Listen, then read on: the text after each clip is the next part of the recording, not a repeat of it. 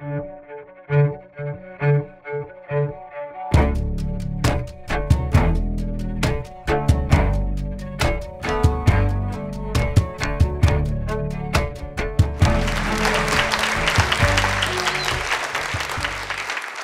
everybody. How's it going? How great was Roy? Yeah. We need people like him, uh, for sure. I'm going to tell you right now, I'm not going to match his energy, um, which I think we'll all be grateful for. um, really quick, I just want to thank everybody who's been helping put this on, myself included, but especially Ashkan. He's been doing this for seven years, and in Ashkan years, that comes out to like 250. So, uh, just really quick, another round of applause for him.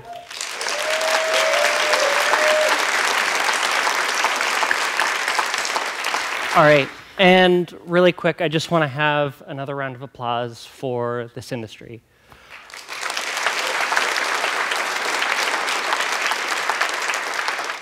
This is the kindest, most thoughtful, most accepting industry I've ever had the privilege to be a part of. So, thank you. Um, and then lastly, I just want to say let's give one more round of applause for how great I look in this dress.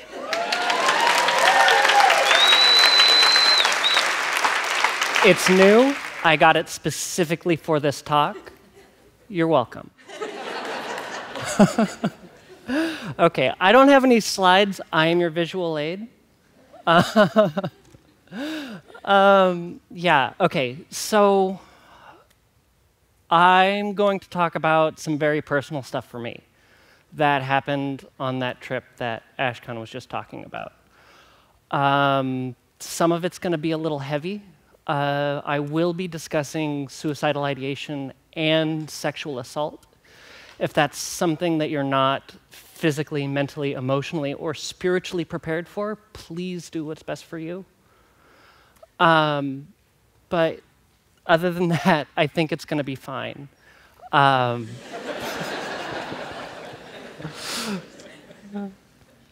speaking of float tour, um, just by round of applause, uh, how many people did we see? Who Ashkan, I didn't hear you applaud. Okay, thank you.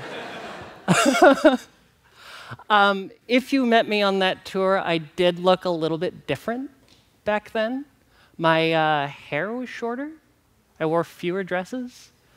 Um, and I had a deeper voice. Uh, yeah, I looked like a dude. Um, and now I mostly don't. Um,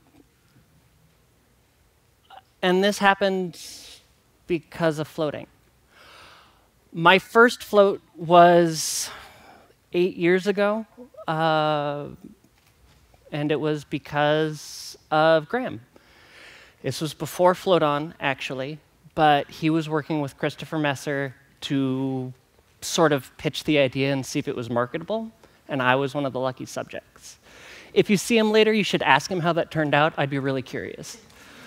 Um, yeah, so that first float for me was really, really cool.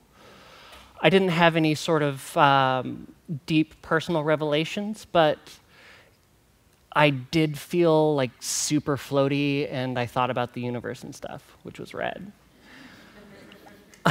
Um, and it stuck with me for a couple of days, and I realized that I wanted to keep doing it.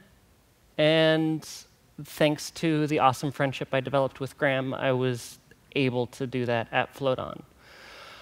Eventually, for whatever reason, they brought me on to Float Tank Solutions. And true story, uh, just days before they were leaving on Float Tour, Graham was like, Do you want to come? And I was like, Yeah.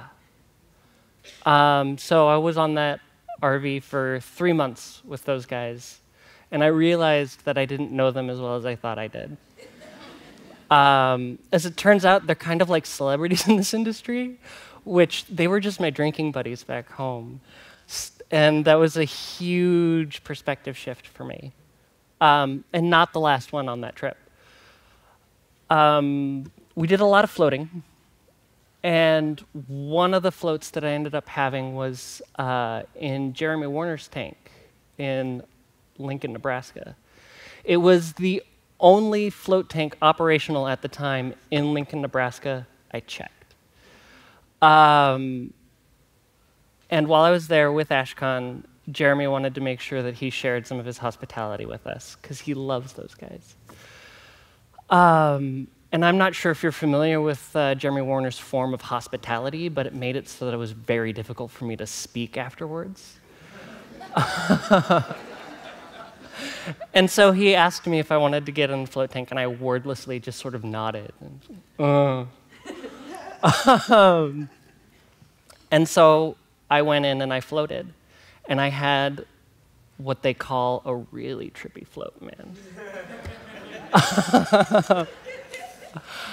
I started to think about my place in the universe and what I had learned about myself on this trip and throughout my entire life. I started to think of where I wanted to be in the future and visualize my ideal self. Have, and not just that, but I also started to see me in the future, not just think about it, but actually see who I was going to be. And much to my surprise at that time, she was a woman. And even though it was very surprising, there were parts of me that kind of knew. Um, I had had clues growing up, things I just didn't want to believe. Because I grew up in a very small town. Um, I grew up in, in Bend, south of here, and when I was growing up, it was much smaller than it is today. Um, and the people I had around me were cis, straight, white, God fearing Anglo Saxon Americans.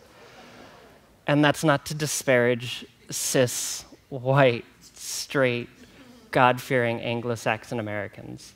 Most of my friends are cis, straight, white, God fearing Anglo Saxon Americans. Well, maybe not God fearing. but I didn't have anyone to talk to about how I felt. And so I knew that it was weird. And so I tried to stop feeling it. If anybody's had something like that, they know that it doesn't work. Uh, and it eventually does come out. Um, and that's what I did when I came out of that tank. Um, and it was really, really great for a while. When I got back home, I started to transition, and it was amazing all of the things that I had been missing out on and how not ashamed of myself I was. And I was really glad to have that. Um, but the rest of the world doesn't necessarily agree that that's a totally awesome and groovy thing. And uh, that got really hard for me, um, encountering that backlash. Especially since it took me so much to just finally accept it for myself. There's always a little voice in the back of my head that says that what I'm doing is wrong and it's different and weird. And sometimes when I get like that, when I'm in the float tank, um, it doesn't help. And I know that that's something we don't talk about a lot in this industry, but sometimes those floats just they don't go well. But I've learned that I can always just get out and try again later. And I think that that's something that we all deserve to be mindful of. Um, there were times where I would get into these negativity loops, and being by myself was the worst thing that I could do. And after I was sexually harassed on the train, somebody just grabbed me and they smiled at me as they walked away, fully aware that I couldn't do anything. Um, I felt like I'd had enough. My wife had asked for a divorce because it turns out I was not the man that she married. Um, and there were just so many little things that kept piling on, and being by myself, I convinced myself it was going to be bad forever.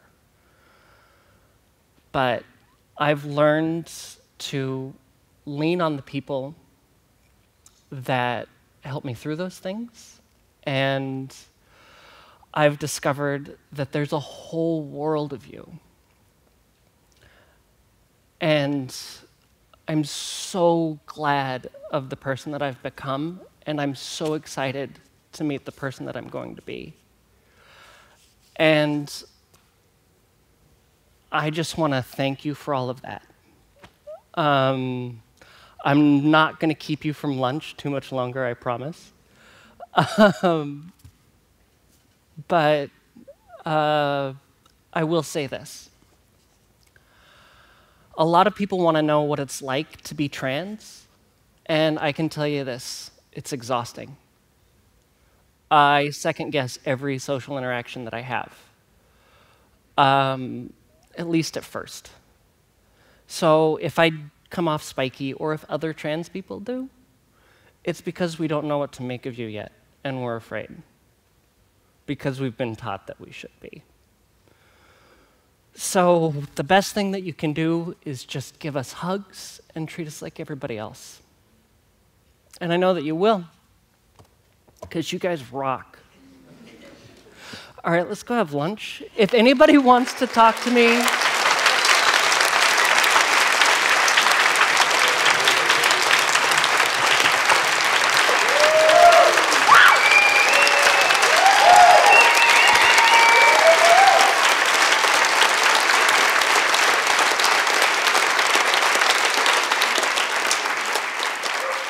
I'm going to let you know I'm not doing a Q&A.